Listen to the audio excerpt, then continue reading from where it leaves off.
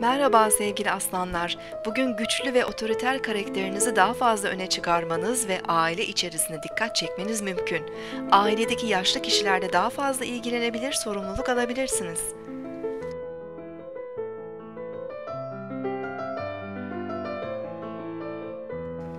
Bugün 3 Haziran 2014 Salı, Mars günündeyiz.